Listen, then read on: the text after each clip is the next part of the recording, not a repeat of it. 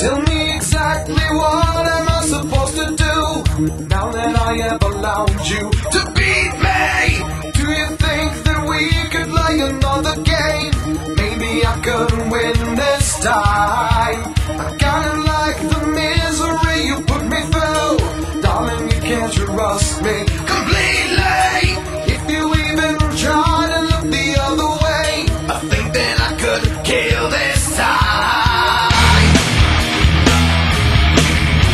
rock.